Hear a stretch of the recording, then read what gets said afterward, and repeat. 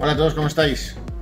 Estamos casi a 22 de septiembre, quedan un par de días para el Battery Day y en el vídeo de hoy os voy a hablar sobre el futuro de Tesla, lo que Tesla va a contar y lo que Tesla va a hacer con sus baterías. Os voy a dar mi predicción.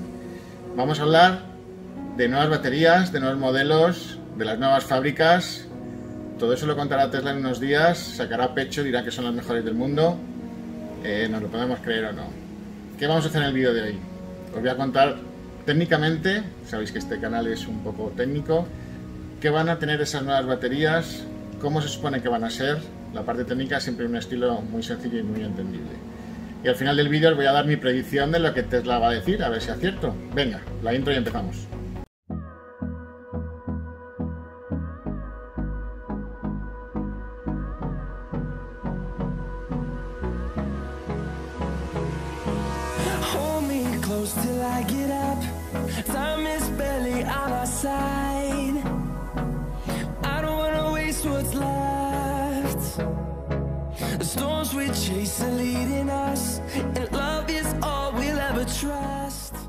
Vamos a hacer un símil entre un depósito de combustión y una batería.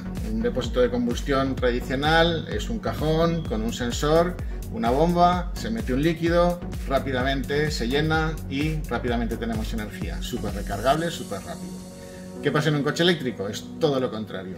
Es un depósito que está lleno de miles de mini depósitos, que son las pequeñas baterías, con miles de sensores, con miles de controles, ordenadores, sensores de temperatura, sensores de voltaje, en fin, una cosa complicadísima, pesadísima y además carísima. ¿Cuándo será el fin del vehículo de combustión? Pues obviamente cuando el depósito del vehículo eléctrico sea tan barato, cómodo y rápido que un vehículo de combustión. El Battery Day, ¿a qué nos lleva? A los avances de ese depósito del vehículo eléctrico. Cuanto más nos avancemos el vehículo de combustión, antes será su final. En el Battery Day es el día en que Tesla informa a todo el mundo de su evolución, de todo lo que han progresado, convence a inversores, convence a clientes. Eh, es probable que si no sale bien en Tesla se desplome en bolsas, y sale fenomenal se puede duplicar y es donde explican su evolución tecnológica. Eh, hay dos cosas ya muy manidas del tema de las baterías que siempre se cuentan en YouTube, que es que si la densidad energética tiene que bajar, que si el precio de 100 dólares por kilovatio tiene que bajar. Vamos a ir un poquito más allá. Os voy a intentar explicar las cinco claves técnicas de las nuevas baterías de Tesla.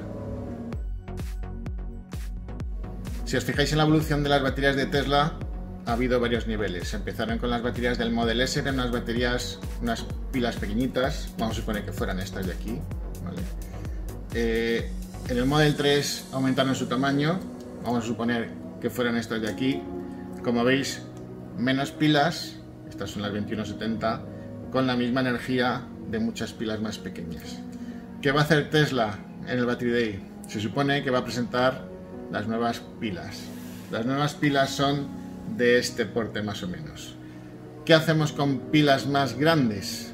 Pues aumentamos la capacidad y la sencillez de la batería. Intento explicar. Estas baterías, ya sabemos por los vídeos de los nadadores de chocolate, que la energía va del polo positivo al negativo, produce una fricción, produce un calor, hay que refrigerarlas y demás.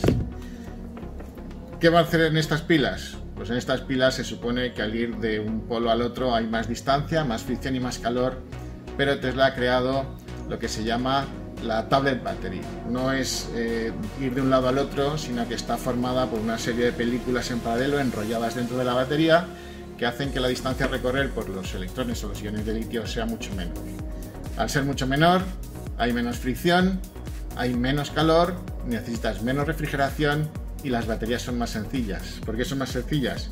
Se fabrican más cómodamente al ser más grandes y bajamos de 4.000 pilas que podíamos llevar con una 2170 a lo mejor a 1000 o 900 pilas de este tamaño. Reducción de peso, reducción de fabricación y muchas, muchas ventajas. Aparte de mejorar el tamaño, hacerlas más grandes y más eficientes, van a cambiar los componentes de ese chocolate interior del que hablamos dentro de la batería. Estamos hablando de incluir más cantidad de silicio y menos cantidad de cobalto. Elon Musk siempre ha dicho que el cobalto es un material que no le gusta, es un material contaminante, para extraerlo se contradicen muchos derechos humanos, en fin, que es un material a exterminar de sus baterías. Elon siempre ha dicho que la intención es llegar al 0% de cobalto.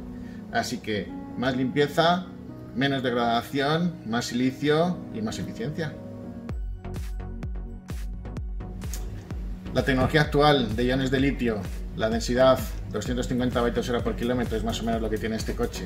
Estamos hablando de que para una batería de 80 kilovatios hora el peso más o menos serían 400 kilos. Maxwell y su nueva tecnología de batería seca. ¿Qué está haciendo? La compró Tesla hace un año y ha conseguido cambiar esa química de la batería.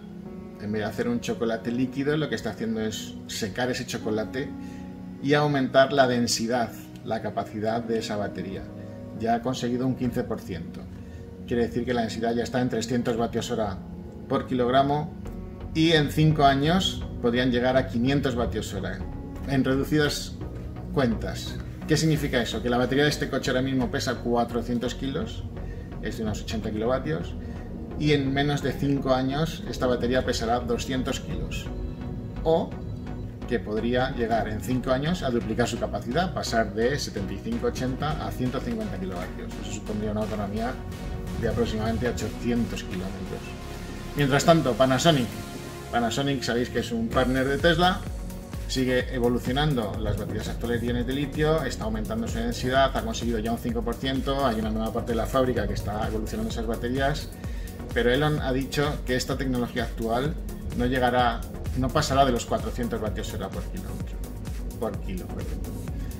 En definitiva, menos peso, más autonomía o más capacidad de meter más kilovatios. La tecnología actual las pilas que van en este coche se juntan unas con otras, forman bricks, estos bricks forman módulos, estos módulos se interconectan con un montón de cosas, una caja que la envuelve estructural, que la protege. Al final es un sistema caro y pesado. ¿Cuál va a ser la propuesta de Tesla? Pues la propuesta de Tesla es simplificar ese depósito de combustible del que hemos hablado al principio y que no haya tanto brick, ni tanta caja, ni tanta estructura que forme parte del coche. Simplemente las celdas, lo que son las pilas grandes, se van a meter en una caja y se van a conectar entre ellas. Va a ser más sencillo, va a ser más ligero y va a permitir que haya muchísimo más espacio. Como todos sabéis, Tesla tiene dos tipos de cargadores, los V2 y los V3. Los V2 cargan hasta 150 kilovatios, los V3 250 kilovatios. Ya hay competencia, está Ionity, está Lucid, que prometen cargar mucho más rápido. Pero vamos a fijarnos en una cosa. Cargador V3 de Tesla. Trabajan, si os fijáis, a 1000 voltios y a 425 amperios. Si nosotros multiplicamos tensión por amperaje, nos sale la potencia máxima que tendría un cargador V3. 425 kilovatios. ¿Os imagináis cargar a esa potencia? ¿Puede ser que los V3 sean en realidad V4s que están todavía capados? ¿Os imagináis que las nuevas baterías puedan desarrollar toda la potencia del V3, convertirlos en V4 y cargar a 400 kilovatios? Sería impresionante. Os he hablado ya de que van a crear pilas más grandes, con una nueva química, con un sistema seco de Maxwell que permite mejor densidad, que van a cambiar el sistema de empaquetado para que todo sea más sencillo, más duradero, más barato, más ligero y con mayor densidad.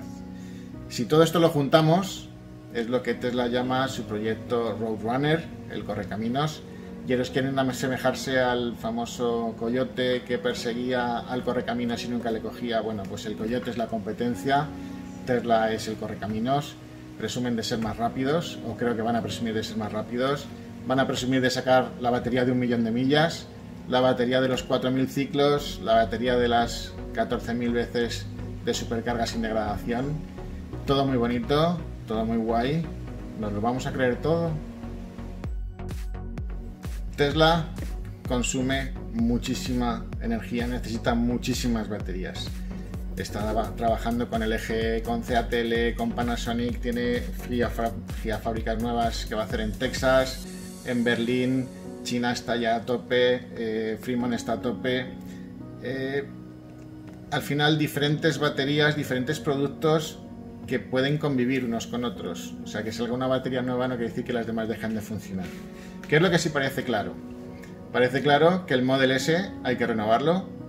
Eh, Elon Musk está muy encabezonado con el Plate, eh, quiere ganar a, a Porsche en el circuito de Nürburgring y parece que creará una serie de Model S mejorados para batir esos récords. Eh, quizá el Model I en Berlín el año que viene venga ya con esas baterías, sería una pasada, una pasada. Lo que sí está claro, bajo mi opinión, Cybertruck y el Tesla Semi y el Roadster vendrán con esas nuevas baterías de correcaminos porque si haces las cuentas por peso 200 kilovatios en un coche de las baterías actuales son pesadísimas. Un camión que tenga esas salvajadas de kilovatios en baterías pesaría muchísimas toneladas, así que esa tecnología directamente irá para Cybertruck, para el Roadster y esperemos que para el Plate y para el Model I de Berlín. ¿Tú qué opinas? Lo vamos a ver en un par de días y os vamos a hacer un directo, estaros atentos, vamos a estar en directo varias personas contándonos cómo va a ser este Tesla Battery Day. Como siempre, si te gustan estos vídeos, por favor no dejes de darle al like, suscríbete al canal si no lo estás hecho y nos vemos pronto. Hasta luego.